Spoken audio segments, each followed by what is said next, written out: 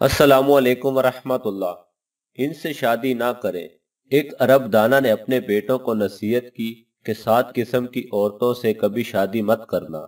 خواہ وہ حسن و جمال اور مال و دولت میں بے مثال ہی کیوں نہ ہو۔ کیونکہ ان میں سے کسی کے ساتھ شادی کرنے کے بعد ساری زندگی پچھتاوا ہی رہے گا۔ وہ سات عورتیں یہ ہیں انانا، منانا، کنانا، حنانا، حداقہ براقہ اور شداقہ۔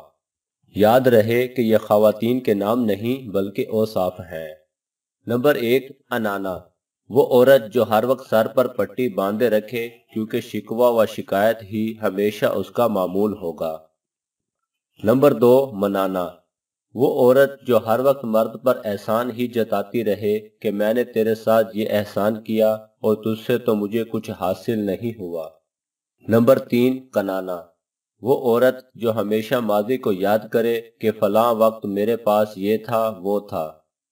نمبر چار ہنانا وہ عورت جو ہر وقت اپنے سابقہ خامد کو ہی یاد کرتی رہے اور کہے کہ وہ تو بڑا اچھا تھا، مگر تم ویسے نہیں ہو۔ نمبر پانچ ہداقہ وہ عورت جو خامد سے ہر وقت فرمائش کرتی رہے، جو چیز بھی دیکھے، اس کی طلبگار ہو جائے۔ نمبر چھ، براقہ۔ وہ عورت جو ہر وقت اپنی چمک دھمک میں ہی لگی رہے۔